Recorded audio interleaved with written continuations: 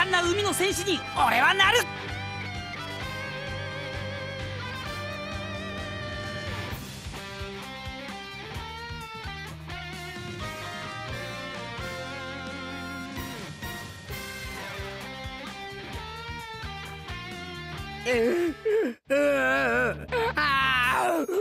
なんでお前が泣くんだよ。バカ泣いてねえよイーストブルーから連れ添った仲間と船を守るために別れてとにかく分かったろ。俺とあいつらはもうなじゃあおめえこれからどうすん解体屋になんかなる気はねえ。俺は一味をやめても海賊なんだ。まさかその船を直して。当然だ。こいつと一緒にまた冒険していつの日か故郷のイーストブルーへ帰るのさ。いや帰れねえよ。さっきここへその船は。ふざけんな！エリー号は俺の船だ！この船はもう次の岸へすらたどり着けねうるせえってんだよ！本当は全部知って空島でのある夜俺は誰もいねえはずの船から。傷ち次の日の朝。船は下手くそに修繕され俺は。あれは。えそりゃ本当に。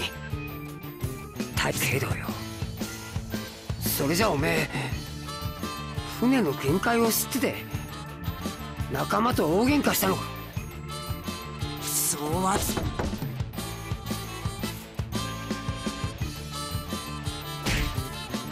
悪いな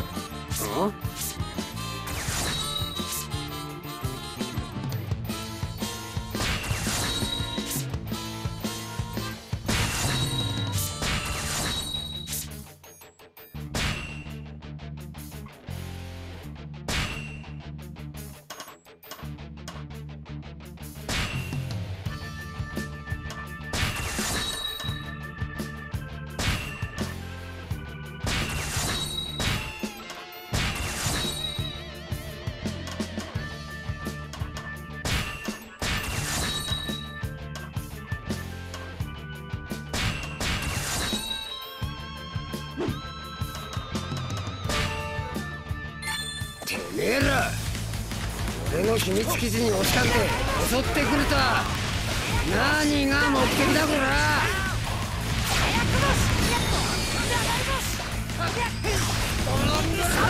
簡潔に話そう俺たちの本職は世界政府の諜報部員お前にはこの意味がわかるか。ここへ来た理由もな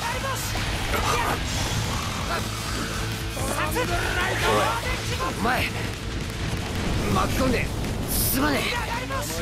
どうなってんだか分かんねえから今は協力した方が良さそうだな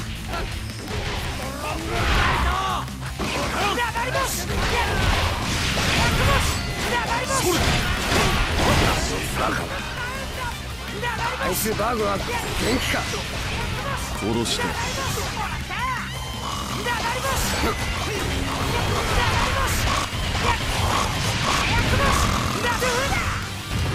なるほどここはかつての造船会社トムズ・ワーカーズの本社。人の思い出にそっと踏み込むもんじゃねえぞ。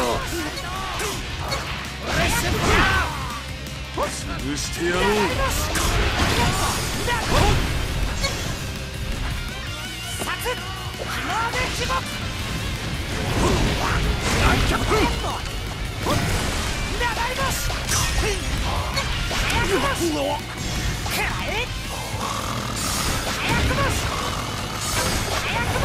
フランキー我々はもう全て知っている。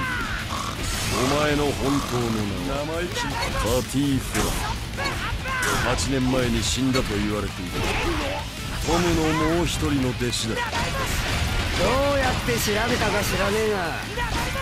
見事なもんだな。古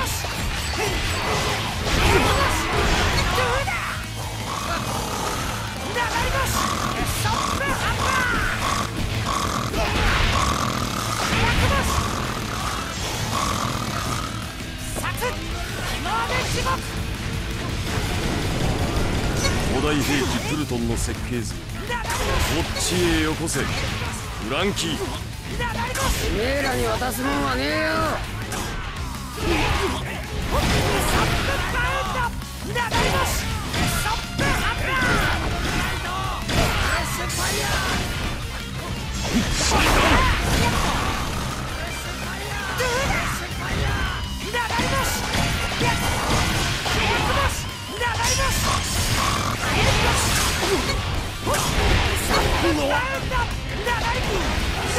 てやろう。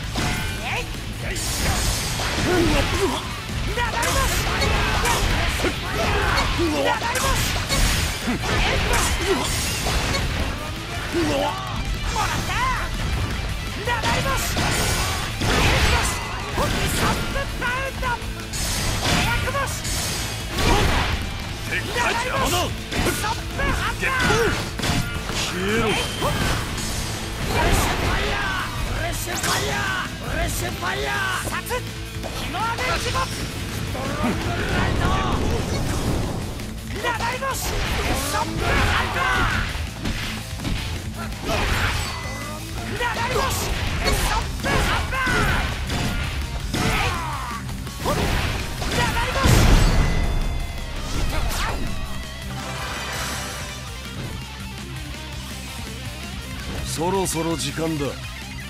連行する。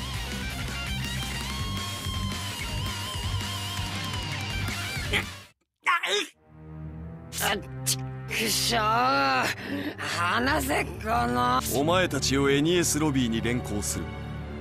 プルトンの設計図のありかについて間もなく海列車が出る。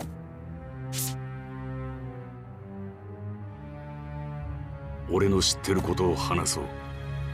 ニコ・ロビン。何か知ってるの？俺とニコ・ロビンは同様に世界を滅ぼす世界政府が欲しがってるのはそれだ。兵器が復活すればこの世界は麦わらの一味が無事に島を出ることを条件に全世界に生きる全ての人間の命よりもよかった。そうと分かりゃ考えることは何もねえ。すぐロビそれ以外ねえな。だけど。まあしゅ